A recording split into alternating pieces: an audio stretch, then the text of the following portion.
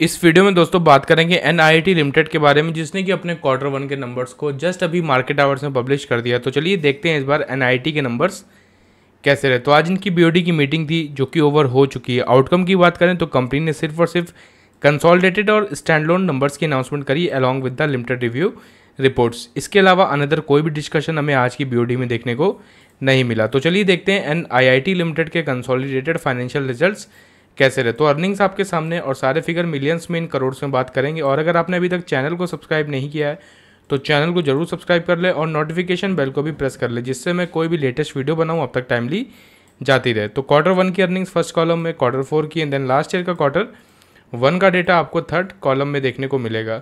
बात करते हैं रेवेन्यू फ्रॉम ऑपरेशंस की, जो कि 62 करोड़ से 82 पे आ गया ईयरली और 74 से 82 पे क्वार्टर ऑन क्वार्टर तो क्वार्टर प्लस ईयरली दोनों ही जगह रिवेन्यू बढ़ा है और मार्केट का एस्टीमेट 81 करोड़ का था, जो कि बिल्कुल हमें बीट होता हुआ देखने को मिल रहा है। देन उसमें आप अदर इनकम ऐड करेंगे तो आएगी टोटल इनकम जो कि 78 करोड़ से 99 पे आ गई क्वार्टरली 92 से 99 पे। तो क्वार्टर प्लस ईयरली दोनों ही जगह इनकम बढ़ी है। एक्सपेंसेस की अगर बात करें तो 74 करोड़ से 89 पे आ गया ईयरली और 79 से 89 पे क्वार्टर ऑन क्वार्टर तो जिस तरीके से इनकम बढ़ी कंपनी के एक्सपेंसेस भी क्वार्टर प्लस ईयरली बढ़ गए देन डिस्कस करते हैं टोटल प्रॉफिट या loss for the period company को कितना हुआ। तो लास्ट ईयर की अगर बात करें तो कंपनी का जो ओवरऑल प्रॉफिट था, वो अप्रॉक्स था टू करोड़ के आसपास का टू करोड़ और इस बार वो प्रॉफिट एट करोड़ पे आ गया।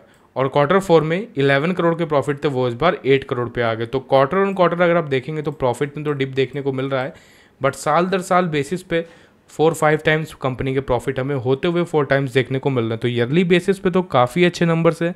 मार्केट एस्टिमेट अगर आप देखेंगे तो अप्रॉक्स आपको 14 करोड़ का देखने को मिला था, जो कि हमें मिस होता हुआ देखने को मिला। तो मार्केट एस्टिमेट के हिसाब से तो नंबर बिल्कुल भी नहीं है बट साल दर साल बेसिस पे काफ़ी ज़बरदस्त परफॉर्मेंस देखने को मिल रही है। सेम रिफ्लेक्शन ई में देखने को मिलेगा, जो कि पॉइंट वन सेवन से पॉइंट फाइव एट पे आ गया पॉइंट एट फोर से पॉइंट फाइव एट पे। तो सेम रिफ्लेक्शन भी देखने को मिल रहा है ईपीएस में। तो ओवरऑल काफ़ी अच्छे नंबर से ईयरली मार्केट एस्टिमेट को मिस किया।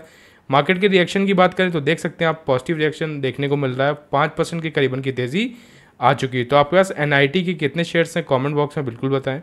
तो मिलते हैं किसी और वीडियो में किसी और अपडेट के साथ। तब तक के लिए बाय